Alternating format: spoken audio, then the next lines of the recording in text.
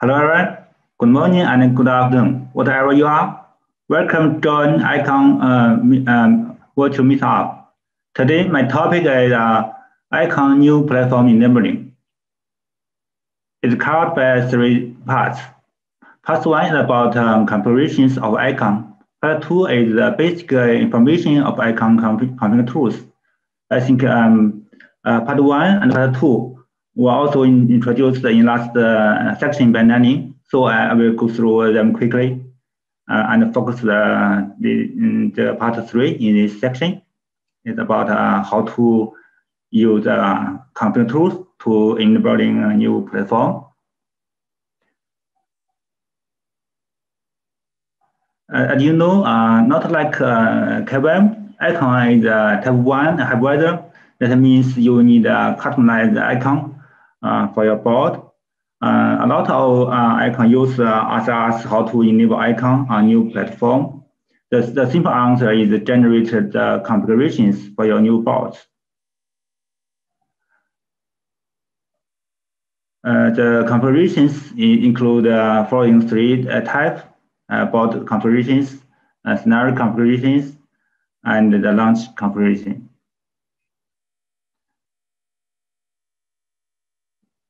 Here's more uh, information uh, about the configurations. So I, I skipped it since it was talked in uh, last section. Uh, important hint is about uh, the ACRN common tools uh, architecture is under refinement. Uh, but uh, whatever change on, on common tools architecture, the working model is the same. So I will start from the ACRN release 2.4. Uh,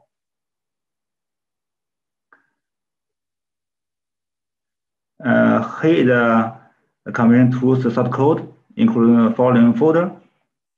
And here is the working flow of um, convenient tools. And then that side, step one is get the border info. And the output is the border XML. And it's the input of step, step two. Uh, customer per needs to generate your uh, scenario XML and launch XML. Uh, step three use the generate border XML and send XML to build ACRN. Uh, step four is using uh, the build binary to deploy uh, ACRN. Uh, as you know, uh, step one and step four are on target machine because there is no other choice. But uh, it's not true for step uh, two and three. It's depending on the performance of your target board. You can run step three and four on your target uh, if your target board performance is good enough. Uh, but uh, host machine is preferred for step two and three in case the performance of your target board is good enough. Uh, ACRN configure, configuration APP uh, is a web um, UI based on the uh. Uh, we'll uh, take it more later. Uh, here's an example about uh, uh, all XML for one platform. It's both XML, scenario XML, and launch XML.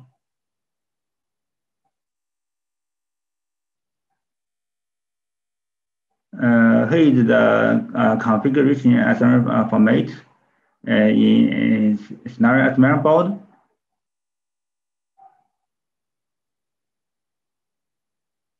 uh, in, and include the sorry maybe uh, it's quick too quick.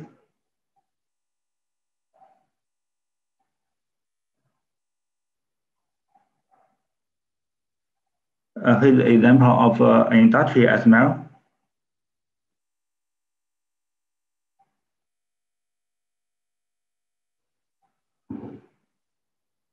Okay, uh, let's uh, go to detail of common tools. First, uh, you, uh, you need to get the about, about uh, information. Uh, you need to set up the native uh, uh, OS on target and make sure the VMX we, which, which D was enabled and the secure boot was disabled in your BIOS. And the one, two, 18.04 is verified and uh, install the required uh, the tools and also update the current command line in GRUB menu. Then you, you copy the, uh, the ACRN code, the target code to target board and run the, and the, the border parse the, the PY, dot PY by the Python 3. In this example, we use the, the tech, uh, for, for example. After run this, you can get the, the uh, TechLinuck uh, XML and the out folder. Uh, this about XML uh, included uh, some physical platform information like the AC API, memory size, and CPU info. It will use by a control.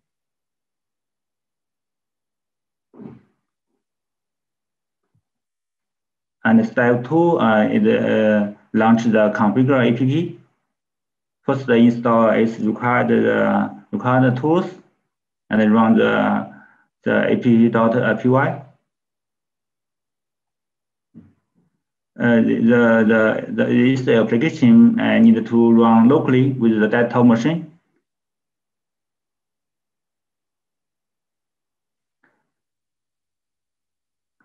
Then uh, you uh, you need uh, load the the border uh, info. It's uh, just generated in the last uh, steps. After you load the border XML, you can see the border info, the base info, and the, the, the info. Then you, load the default uh, uh, scenario XML. The, the for uh, scenario can be selected when, when, using the interface, for example. Uh, there are lots of uh, items for the scenario XML. If you're not very familiar with the items, please uh, keep the default value. But uh, except for uh, except for uh, three items. First one is about the series counter. The default one not set any value. So you, you need to change to uh, DV, uh, DTY uh, S0. Uh, otherwise, you cannot switch to VM console from the hardware console. Uh, this issue is fixed in the master, master branch, but not for the release to the fall. Uh, another is about uh, the hypervisor RAM size. Uh, depends on the, your BIOS version, you may uh, get GRUB complaint out of memory issue uh, for the default value. Um, please change it to uh, 860. Uh, this issue also fixed in the in the master branch. And the the the three the three uh, the third, the third issue is about the, the SOS RAM, RAM size. Uh, it depends on how, how much memory on your board. The default value is fine if your um, memory size is uh, less than uh, 16 giga. But if uh, if you is uh, if your uh, memory size is, is large than, than that, you may get this uh, this error. You cannot uh, switch to SOS. It's, SOS is in its status. There are two options for this for this issue. Uh, one workaround is add the uh, no K SLR kernel command line in SOS kernel. Uh, and another another another Biggest is about change the, the default value, change to the bigger one, change it from four to eight. Uh, it, it will uh, support the, the memory up to uh, 32 giga. It is depending on your memory size. So uh, seven step is, is about generate the launch script. if you want to launch the post-launch VM, you, you need to uh, generate it. If you just want to try ACRN and SOS, you can uh, skip this step. Then uh, you uh, make uh, hypervisor using your, your generated board XML and the scenario XML. Uh, step nine is about uh, deploy ACRN on your target board.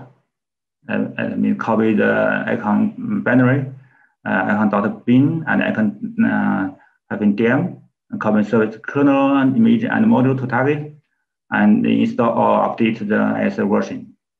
And the last step is uh, copy the launch script and the omap.fd to your uh, service VM. And the, as you know, we will we, we use the OVMF to launch a post VM. If uh, you are not very clear or not very familiar with the, the ACRN deploy, please refer the GST for, for detail. So uh, just as I said uh, at the beginning, ACRN Computer 2 refine is, is still uh, ongoing. And another important uh, is about uh, ACRN uh, serial for debugger efficiency. And please refer this uh, this this uh, doc to to enable uh, ACRN Hybrid. Uh, if your code branch is, is not uh, new, then release 2.4, you need the offline patch. You can also refer this doc for, for detail about the component tools.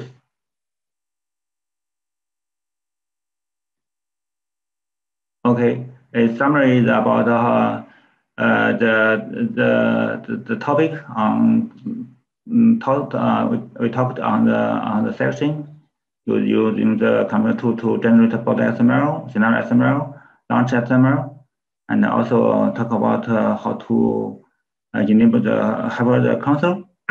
two, yeah, two options. Option one is with the internal uh, serial header. If your board don't have the internal serial port, a serial header, uh, you can using the option two, using the PCIe serial port to enable the hybrid serial port.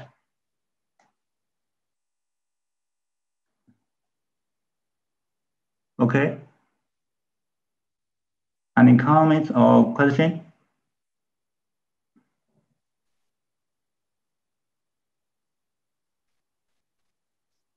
Thank you, Fuzhong. Is there any question regarding the, the tool and the, the different steps described by Fuzhong on how to enable ACRN on a different board? One note perhaps that I would like to add to this is the um, in the development steps, uh, when we configure ACRN for different board, we typically just uh, make a distinction between a development system and then a target system.